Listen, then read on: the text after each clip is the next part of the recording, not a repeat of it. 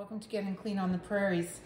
I am going to do um, a video here on how to make paprika powder um, using my dehydrator here. Uh, this is the Nesco dehydrator that I've had for several years and it works great. So we're going to dehydrate these beautiful red paprika peppers that I grew indoors uh, using the hydroponic method, Kratky method. Um, I've have several videos on my channel, kind of from start to finish on how I grew these. But um, they've been harvested and they have turned a beautiful red color now and they're starting to dry up. So I'm just going to first uh, remove some of the seeds from them and save them so they can be remove as many seeds as I can so that I can save them, dry them out and uh, collect them for this um, spring so I can plant them outdoors.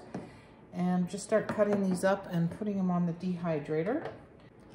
I'm just going to chop these up into smaller pieces. They're partially dried out already because they've been sitting in this basket for a couple weeks. I'm just going to spread them out on this tray here and we will start drying them.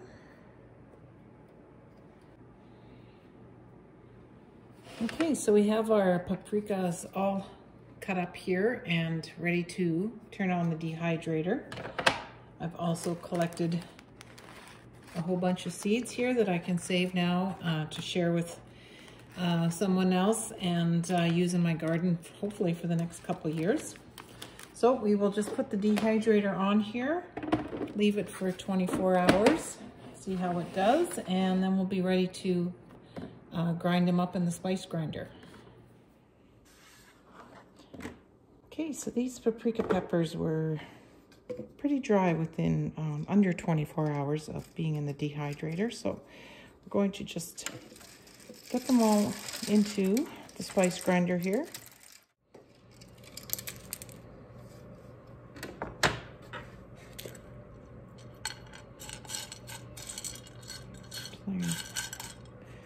Pretty nice and crunchy feeling.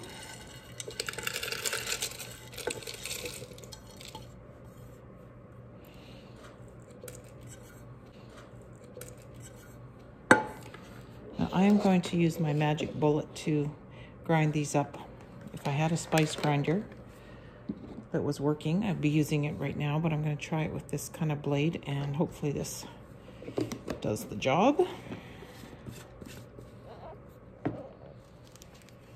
And so I have collected this many seeds from those peppers here, so this should be a good supply to last me for a couple years.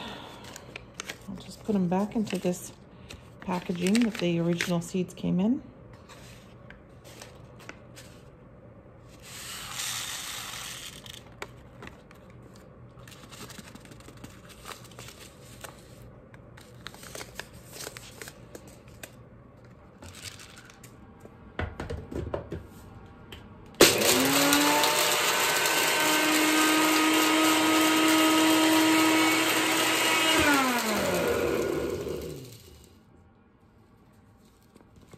don't think there's going to be a whole lot there at the end of all this, but this seems to work good for grinding it up. Smells good.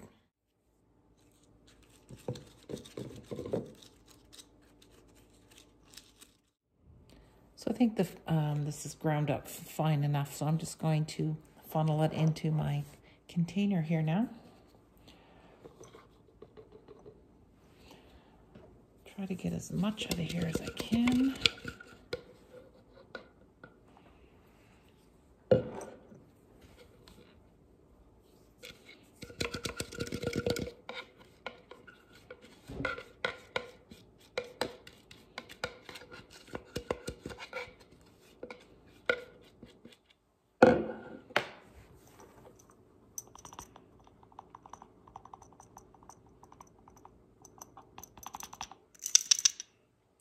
There it is.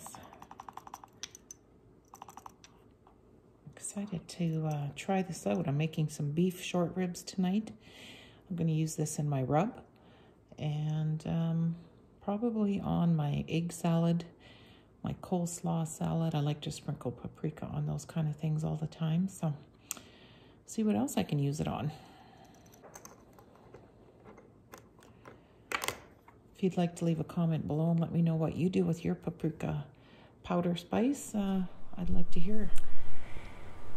So I hope you enjoyed watching uh, that video on how I made my um, own paprika spice, uh, paprika powder from my own homegrown peppers. And uh, it's something very easy to do that you can do with a variety of peppers. I'm hoping that I will be growing some uh, variety of peppers this summer outdoors that I will be able to grind into some spices again this fall. So I'll, since we're talking about peppers, I just wanted to show my other Kratky pepper that I have growing.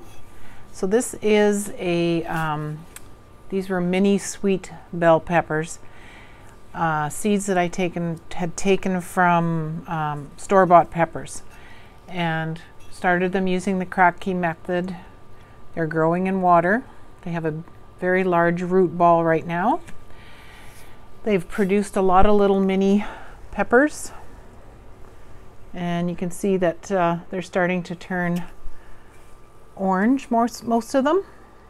So we'll see, waiting to see if they turn any other colors because the, uh, the variety that I bought had red, yellow, and orange. So we'll see how that turns out. So I just wanted to update you on those. So be sure to watch for that. Hit the notification bell so you don't miss out. And I thank you again for following me and we will see you on the next video.